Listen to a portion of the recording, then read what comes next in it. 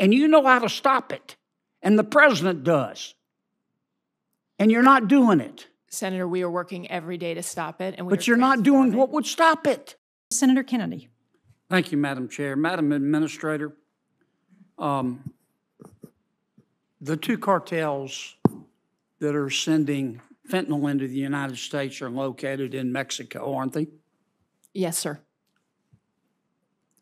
And isn't it a fact that we could stop those cartels in their tracks if President Lopez Obrador would invite American military and or law enforcement personnel to come into Mexico and work with his military and law enforcement personnel? Senator, what I would say from my purview as the head of the It- DEA, But is my, is my uh, statement true or not? What I would say is that we're focused on the two cartels, um, who we believe are doing exactly what you say. They are responsible for the fentanyl Let coming. me into ask you again, States. if, if President Lopez Obrador invited the American military and/or American law enforcement officials to come into Mexico to work with the same in Mexico, we could stop the cartels, could we not? Senator, I believe this is a, this is a whole of government effort and has to be, including whether it's the military, us, FBI, Now, and Madam, others. Madam Administrator, I I've listened to you here for almost an hour uh, telling us how bad fentanyl is. Thank you for that, but we know. Yes, sir. I'm going to ask you a third time. If President Lopez Obrador invited American, the American military and or law enforcement personnel to come into Mexico and work with the same in Mexico, we could stop the cartels. Isn't that a fact? So, Senator, I- can speak to the law enforcement side of this, um, and you just mentioned law enforcement. Uh, I believe that this is vital for both Mexico and the United States. Mexicans are are dying as well, as we as we showed in the Chapitos. Well, then why don't we stop them? so we Would it help? Let me ask you a fourth time. Would it help if President Lopez Obrador, I don't think it's a complicated question, Madam Administrator. You're asking us for more money every year, more money, and it gets worse, worse, and worse. You, you know, in, in the real world, the nitty gritty of the real world, when you fail, you get fired. In government, when you fail, you get more money because obviously you need it. Now, let me ask you a fourth time. If President Lopez Obrador, and I'd appreciate an answer, if President Lopez Obrador invited the American military and our law enforcement personnel to come into Mexico and work with his, we could stop the cartels, couldn't we?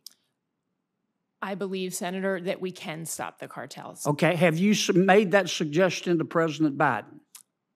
If I could, I believe that we can stop the cartels by. Have you made that suggestion to President Biden?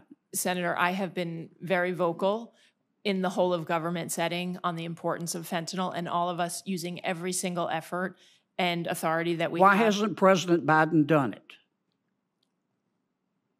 I mean, th- this is the way the American people, whose sons and daughters are dying, look at it.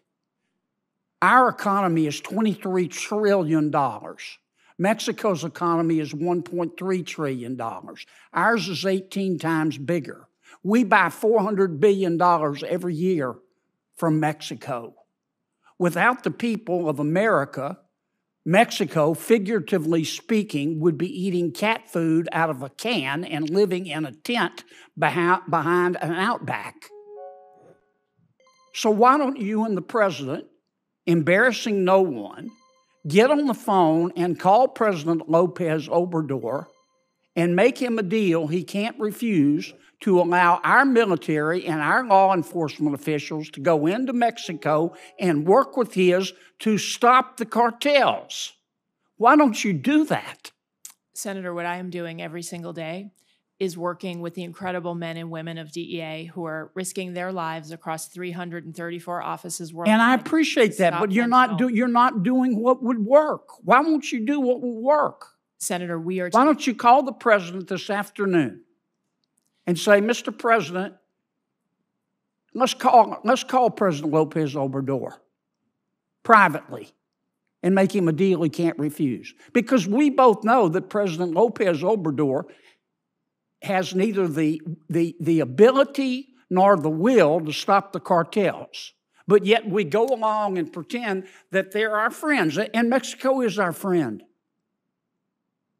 But he has criminal organizations that are killing our people, and you know how to stop it, and the president does.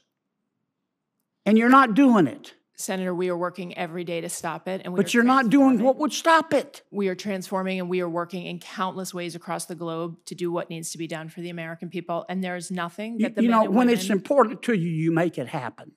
When it's not important to you, you make an excuse.